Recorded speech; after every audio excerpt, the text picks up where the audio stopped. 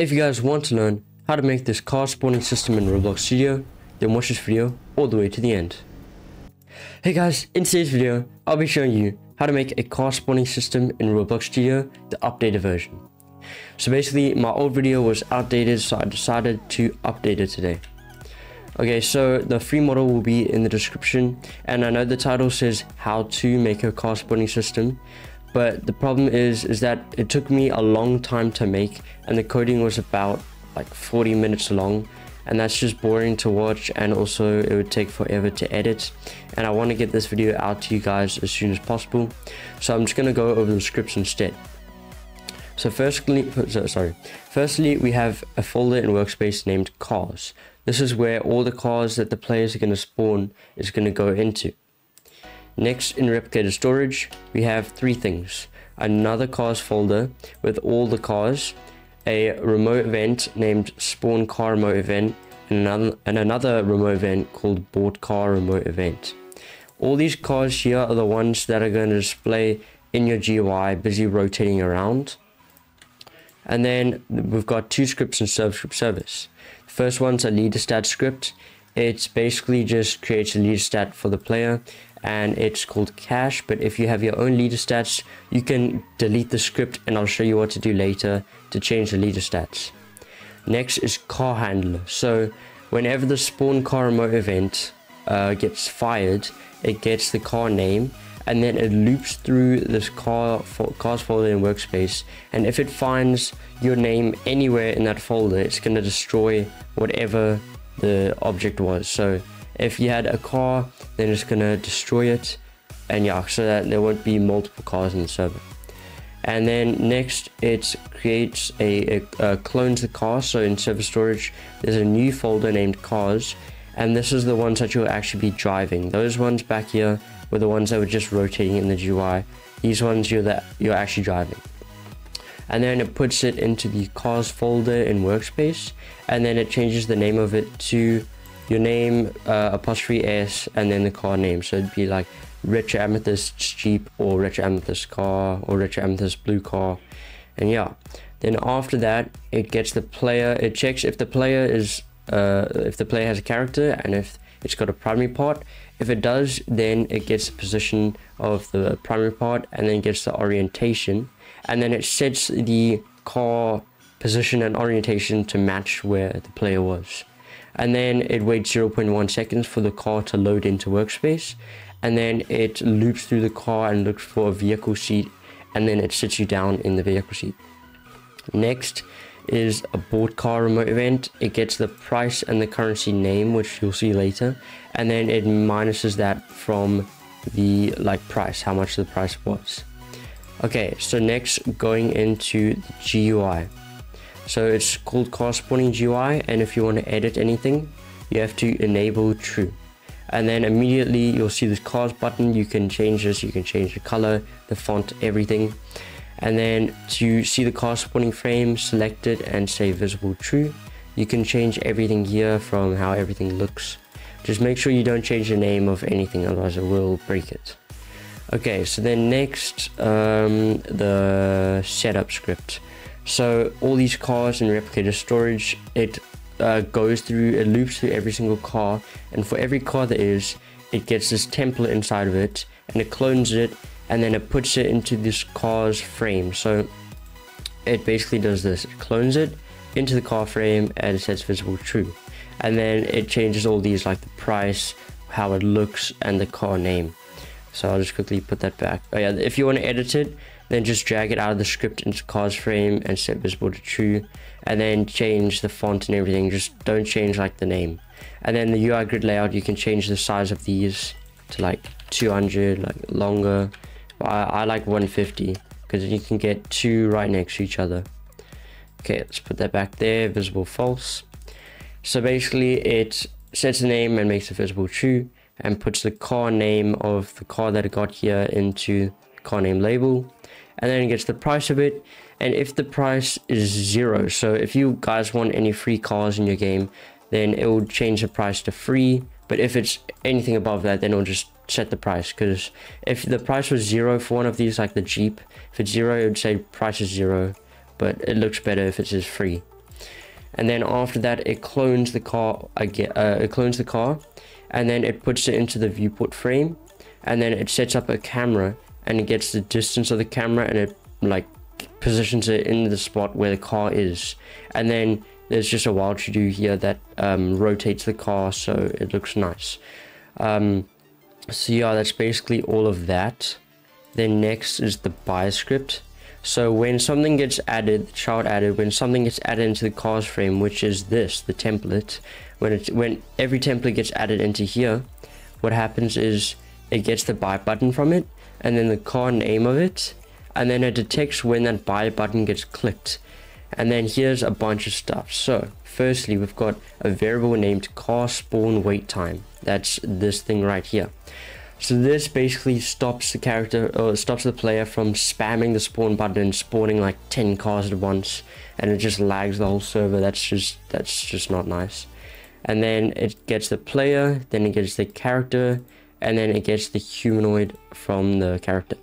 And then it gets the price and then the currency name here. So if you have your own currency and you delete this leader stat script, go to the currency name in the GUI and change this to your currency name. So if it's money or um, coins or jewels, just change this to money. Make sure that the name is the exact same as the leader stats. Let's change it back to cash. And it checks if the buy button is spawned. So if you've already bought the car, then it's going to check if you're sitting. So if you're not sitting, because if you're sitting down and you spawn a car, then it's going to glitch because like it overlaps with everything. So if you're sitting as if sitting is false, then it's gonna uh, go to the next bit. But if you are if you are sitting, then it's gonna tell you to stand up and it won't spawn it. It sends it sends a notification here basically. So then next it checks if the car spawn wait time. So if the time is up for you to spawn another car, then it's to set it to 5. So you can change this um, number here to like 10 or whatever that's the amount of time you have to wait in between each car spawn. And then it uh, uh, fires a spawn car, which we already looked at here, the spawn car.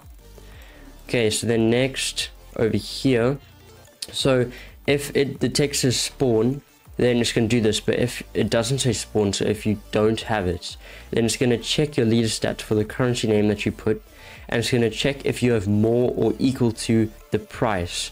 And then if you do, then it's going to say success, you bought the car name. And then it's going to um, fire the bought car, which was over here. We uh, bought the car.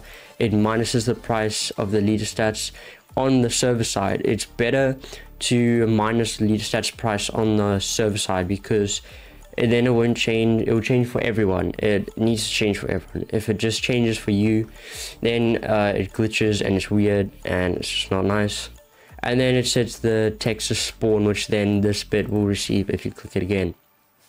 But if you don't have enough then also you don't have enough of the currency name that you put here. Okay so that's all of that. And then there's just one last thing the car spawn wait time. And it's got a bool value named counting down. So there's a local script here and it checks whenever this uh, changes. So back in the buy script it changes it to five. So this script is going to detect when it gets changed and if it's greater than zero. So if the wait time is greater than zero and it's not counting down, then it's going to start counting down and it's going to repeat this until it reaches zero. So no matter what um, you put here, it's still just going to count down to zero. So every second it's going to minus uh, one from the value until it's zero and then it says counting down to false.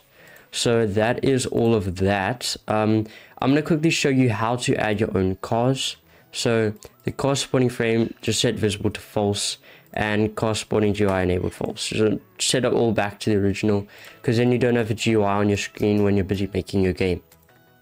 Okay, so to add another car to the system, get your car model. I will get something like this. I'm gonna say, oh yeah, we'll get this. And then, uh, okay, Jesus, got like a bunch of things here. I'll just just make sure you've got the car model. And then I'll just rename this to Mercedes. And then you can get rid of the thumbnail camera and then put that into the server storage, the one you get straight away from the toolbox. Put that into server storage. And then clone this and put it into the cars folder in replicated storage. and then you want to get rid of all of the scripts because these we don't want the scripts in the um, in the thing that's busy rotating because if it's rotating then it's going to try and run all the scripts. And we don't want that. Same as the sound we don't we don't want that. Uh, all of these we don't want this. We don't want this. We just want the car model. We don't want anything else. Um, these all just look like mesh parts. That's fine. And wheels. Uh, yeah that looks good. So now now we just have the car model. And make sure a primary part is set otherwise it won't work preferably set this to something right in the middle of the car because then it rotates around that point um, in the in the viewport frame. It rotates around the middle of the car, or the primary part. So it's better to be in the middle otherwise it's going to be a bit off when it's rotating. So try and find somewhere in the middle. If you can't find anywhere in the middle like this one just set it to the drive seat, i guess. Um, yeah just set it to the vehicle seat then drag it there and then you'll see these ones have these two attributes price and camera distance. So in your car add an attribute and set it to number. This one will be price and then make another one with another number and name it camera distance. So distance. There we go. So these two are going to be important. So the price obviously the price of the car. This one i'll put it like 40,000 and then the camera distance this is how far away it's going to be when it's busy rotating. So you have to just mess around with this. Normally 15 or 10 is good. Uh, let's just see. So mercedes okay it is kind of far away. And something's busy lagging. I think it's that mercedes. Yeah the mercedes is busy lagging it i think. Because of all of these. Maybe. So yeah um change the camera distance. Uh, 10 would be better Let's try that. There's something that's trying to do, yeah, I think it's the sound. And it's busy lagging, yeah. So Mercedes, it's, uh, you can see it's not rotating with these ones. So to fix that, uh, drag all of these into workspace. And also make sure the car is like underground. That way if there's any sounds coming from it, the players won't really hear it. So you'll see I lined all of these up. The Make sure that your car is rotated the same way so 90 or 0, 0, 0. There we go. So make sure it's like in line with all of these. I'll just move that over there. So now they're all straight like that. And now we can put it into the cars folder. Now we play. You'll see now it's rotating with them. There is something lagging. I think it's that Mercedes. Um, but yeah, let's quickly change the leader stats. Let's give us a bunch of money so you can buy all of these a billion. Now let's buy the Mercedes. Let's buy all of these. Now let's spawn the Mercedes. And there was a problem. I think I didn't have a primary part. Yeah. Okay, so in the cars folder, make sure it also is a primary part. Just set it to the drive seat. And then here you don't need the attributes. The ones in server storage don't need the attributes. It's only the one in replicated storage. So now we can play and there was a bunch of errors. I think that was from the Mercedes. So try and find cars that are not too script heavily and also it'd be best to make your own cars if you're making a proper game. These ones by Roblox are like the ones that lag the least for me. And there was something wrong. No, that's all of that. Now we can go. We can drive. This thing is super laggy. And for some reason it didn't spawn me in the car seat. I think it was because it didn't have a car seat. I'm not sure. I'll have to check. You can see these ones spawn me right in it. Boom. And this one, this is obviously isn't the best car. It was just one I found from the toolbox. So yeah, uh, that is it for today's video. Uh, bye guys.